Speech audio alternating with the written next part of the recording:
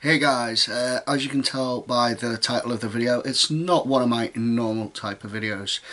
Uh, as the title says, I've beaten cancer. Uh, yes, I've not told many people that I've been going through cancer uh, for the past two and a half years now. Uh, due to the fact I didn't want any sympathy votes, uh, people just watching me because of that sort of thing.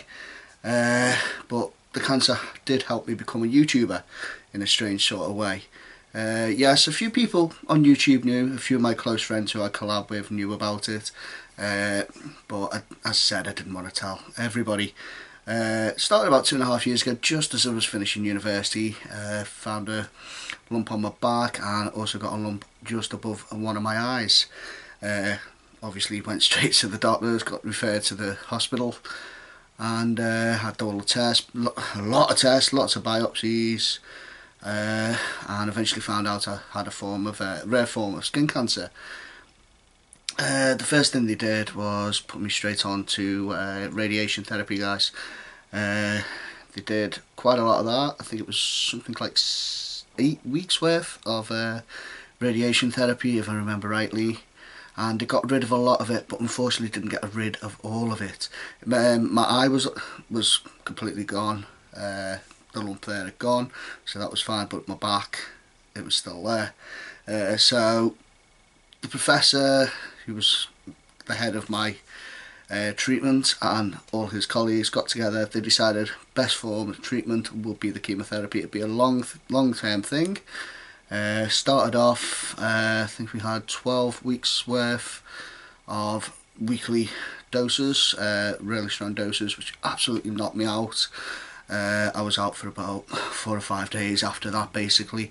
Couldn't do much, no energy, just slept constantly.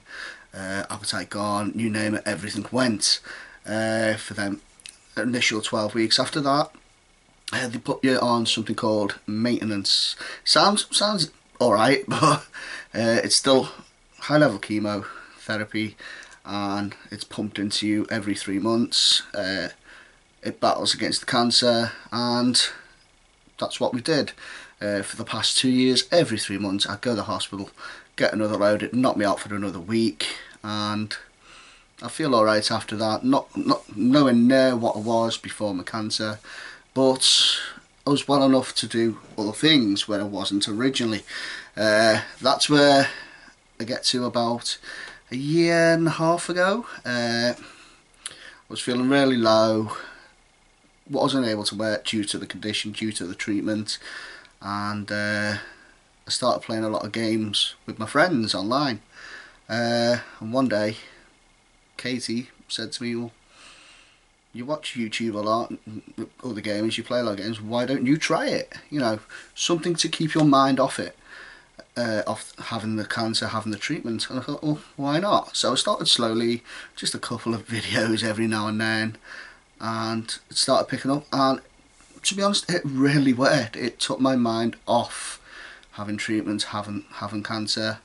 And that's one of the main things I needed at that point was to take myself out of that situation. It's not for everyone, not everybody who has cancer needs that sort of thing, but I felt I needed to at that point.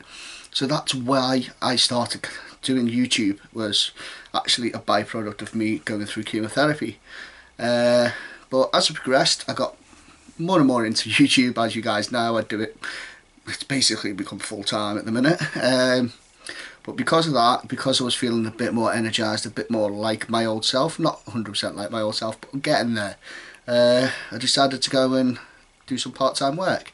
Uh, as you guys know, I work for Warrington Town Football Club, uh, film their games, do the match analysis, etc. Uh, so I do that. So that's what I used to do before my chemo. I, I finished as I finished university, where I did my sports degree. I was also at uh, Stoke City Football Club's academy, uh, doing a year with them, doing analysis. That's what I wanted to do, but because of the cancer, I had to stop. I it was I just left Stoke and I got the cancer, so basically I was getting my I, I started getting my life back. I'm working with Warrington, doing my YouTube. So in a way, guys, you guys watching my channel, giving me that mo motivation to get up, do live streams, do more videos because I want to entertain you guys. It gives me that motivation to get up and do something instead of just wallowing away, laying in bed, not wanting to move, feeling sorry for myself. And I just want to say a big thank you to you guys because if I didn't didn't get any views, I probably wouldn't have carried on like after a month or two. I probably just gone ah I can't be bothered and gone back to the way I was, which wouldn't have helped me at all. And myself and Katie's relationship would have been at loggerheads at that point because she was frustrated because she knew what I was like beforehand. I was very active, very outgoing, and it sort of changed a bit because of going through the chemo. Uh, but as you can tell, guys, I'm I'm a, I'm a bit more extrovert, shall we say. Uh, I talk a lot on camera to you guys. I play a lot of games. I I don't care if people criticise me on on Facebook, on YouTube, Twitter, etc. Oh, he's a fat so and so. He's ugly. He's this. He's that. It doesn't bother me. It doesn't actually bother me. It did the first few weeks due to what I was going through, but it doesn't really bother me now. But as I said, it was you guys. You you guys are the main reason that I got up each day did a video, did live streams. So all I want to do guys is say a big thank you to you guys for helping me through one of the hardest parts of my life. Uh, it's onwards and up and upwards now guys. You all know what else is going on in my life. I'm moving into a new house. I've got a baby on the way so uh, things things are definitely definitely looking up and I just want to say thank you for all your support guys. I'll speak to you again soon. Thanks for watching. Bye guys.